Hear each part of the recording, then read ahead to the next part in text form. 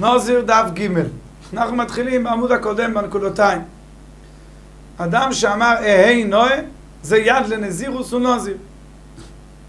שואלת המראה ודין נועה לפניו במצוות כדתניא זה אלי וענווהו התנהל לפניו במצוות אעשה לפניו או עשה לפניו סוכנה, לולבנה, ציציתנה, אכתוב לפניו ספר תורה נאה, ואקרחנו בשיראים נאים.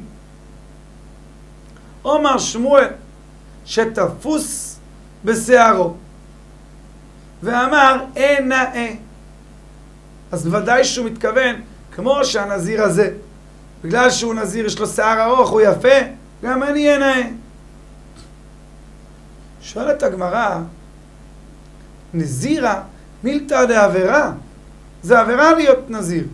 ואנחנו אומרים, ואמרינא לי נאה? איך אתה קורא לדבר עבירה נאה? אומרת הגמרא, אין, דאפילו לרב לוזור הכפר דאמר נזיר חוטא, הנמי לנזיר טמא, דאיידה דבאי מיצר, נסתרים לו, כשהוא נטמע, כל הספירה הקודמת נסתרה לו. דאמר רחמנא והימים הראשונים יפלו כי טמא נזרו. אז ממילא יש לנו חשש, אולי הוא יעבור על הנזירות שלו. הוא נקרא חטא, דילמאתי למעבר על נזירותי, אבל נזיר טהור, לאו חוטא קריבה, לא קוראים לו חוטא. וכבר הבח מציין להסתכל בתוספות בסוטה בדף תזבוב, שהוא מעריך להקשות, שהרי רב לוזר הכפר בעצמו אמר שהסיבה שהנזיר חוטא זה בגלל שהוא מזהיר עצמו מן היין, שהוא מצער את נפשו. הריני כזה. אז הוא נזיר. שואלת הגמרא, אפילו אם תגיד שמדובר כאן כמו מקודם, נהי נמי דתפוס בשערו, הריני בזה לא אמר, אם הוא אמר אני בזה, הפשט הוא, אני מקבל עצמי משהו בזה, היינו בשיער, והוא תפוס בשיער, אז הוא נזיר. אבל מה הוא אמר? כזה? מה זה כזה? אמר שמואל כגון שהיה נזיר עובר לפניו, וכזה הכוונה כמו הנזיר שעובר לפניו. אז לכאורה לא צריך להעמיד שהיה נזיר עובר לפניו. תוספות במשנה בעמוד הקודם, בדף הקודם, אמרו שהרייני כזה, דווקא אם הוא אמר כזה, אבל אם הוא אמר הרייני לבד, זה לא טוב. זה לא מועיל כמו אהה, אפילו שנזיר עובר לפניו. והר"ן בנדורים חולק על זה, והוא אומר שהרייני זה כמו אהה. הרייני מסלסל. הכוונה שהוא מסלסל בשערו, שיהיה לו שיער ארוך. שאתה מראה ממיידא עדיין סלסול שערה? עונה הגמרא כדאמרה לי האמתא דבי רבי להוא גברי. שפחתו של רבי אמרה לאותו אדם, עד מתי אתה מסלסל בשערך?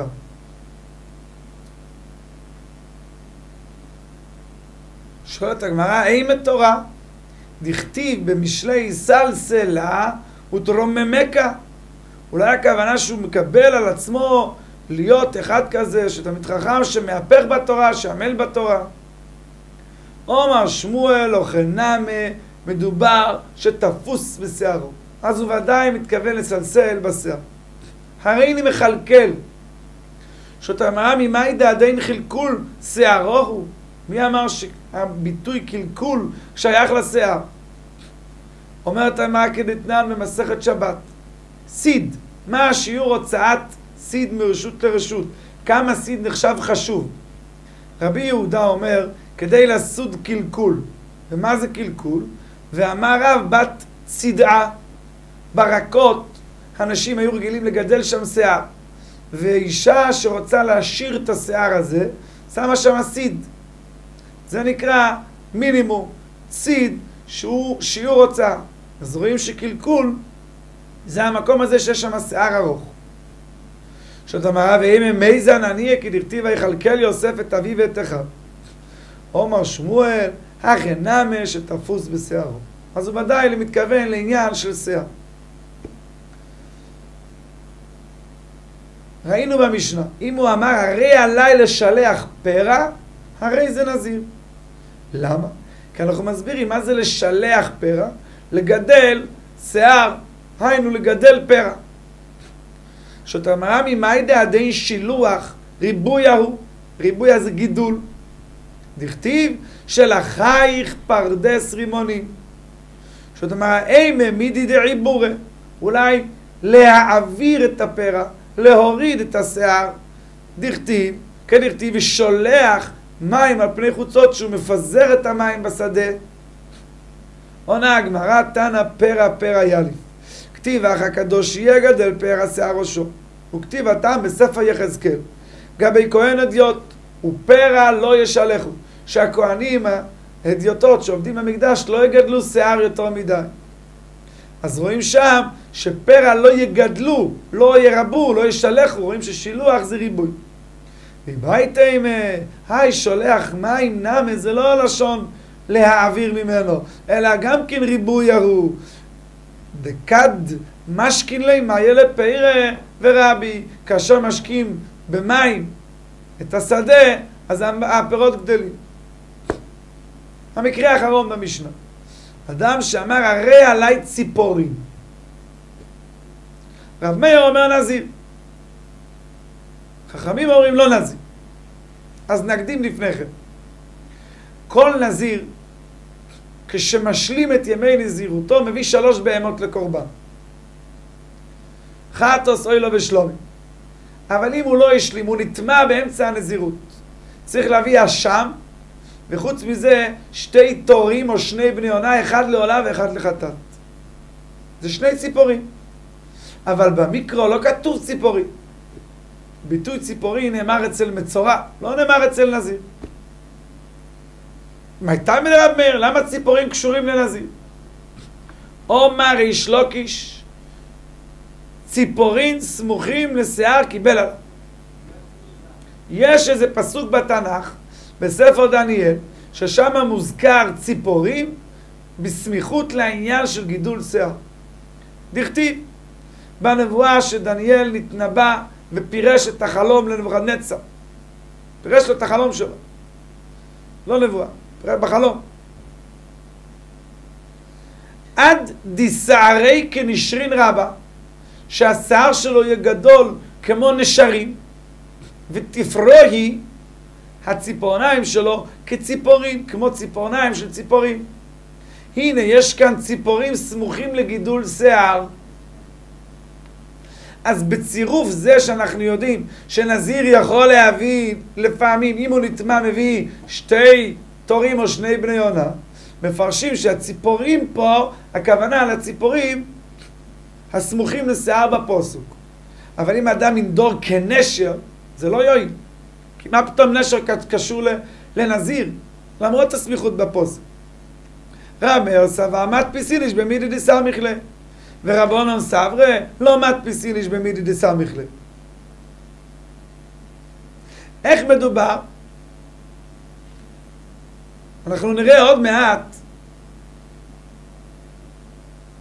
שגם לפי ההסבר הזה בגמרא, אז תלוי. אם הוא אומר ציפורים סתמה, אז אם היה נזיר עובר לפניו, אני אומר שהוא התכוון לציפורים הסמוכים לשיער בפוסק. אם לא היה נזיר עובר לפניו, זו לא נזיר. רק אם הוא יאמר כציפורים הסמוכים לשיער.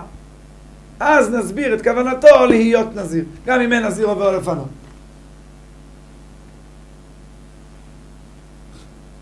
רבי יוחנן אמר, לא. דקרו לעלמה לא מדפיס. אדם לא מדפיס במידי דסמיכלה. עזוב את הפסוק שם בדניאל. אלא היינו תמה לרב מאיר דחיישינן שם הציפורי נזיר תמה קיבל עליו. מה אתה אומר מה הפירוש? זה רק חיישינן. מיכי דחיישינן כמה. אבל אולי לא. אולי ציפורי נדבה קיבל עליו. סתם, לתרום, לאוי לו. אומרת המראה, אם כן, הרי עליי כן מבא אלה. שוטו אמר אבי דילמי הרי עלי ציפורי מצורע כה אמר. מי אמר ציפורי נזיר? בלושן הפוסק כתוב אצל מצורע ציפורים, לא אצל נזיר. עונה הגמרא, כגון שהיה נזיר עובר לפניו. אז אני אומר, הוא התכוון לציפורים של נזיר. הקדים נזיר טמא ולפוטרו מקורבנותיו, כה אמר. אולי התכוון, אני אביא בשבילו את הקורבנות. כגון שהנזיר טהור עובר לפניו. אז ריש לוקיש אמר שהם חולקים האם ציפורים סמוכים לשיער קיבל עליו? רבי יוחנן אמר לא, עזוב את הפסוק. בציפורים של מצוירו כאומר, של, של נזיר כאומר, של נזיר טמא או לא. מה נפקא מיניה בין הביאור של ריש לוקיש לביאור של רבי יוחנן? מה הם חולקים? מהי בעיניו? היא כבעיניו, כגון דאמר ציפורים הסמוכים לשיער עליי. לפי רבי יוחנן, אף אגב דאמר אחי, שהוא אמר מפורש ציפורים הסמוכים לשיער, אם יש נזיר עובר לפניו הוא נזיר, אם, היא לא, לא. כיוון שמי אמר שהוא מתכוון למצ... לנזיר, אולי למצורע, אולי לנדבה, לא יודע מה. לרב שמעון בן לוקיש, אף אגב דאין נזיר עובר לפניו, זה יועיל. שואלת הגמרא, מאיקי למאן דאמר לא מדפיס איניש במילתא דסמיך לה? ועוד תניא. האומר ימין, הרי זו שבועה. אדם למשל אמר, ימין שלא אוכל כיכר זה. אני מסביר שימין זה פירוש שבועה. לכאורה למה?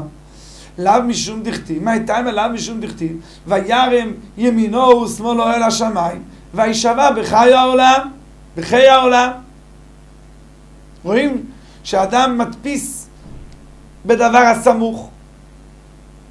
אמרה לו, שמודי ימין גופי יקרא שבועה.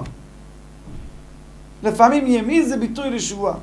דתניא מנין לא אומר ימין שהוא שבועה, שנאמר נשבע השם בימינו. ומנין לא אומר שמאל שהיא שבועה, שנאמר ובזרוע הוא זו.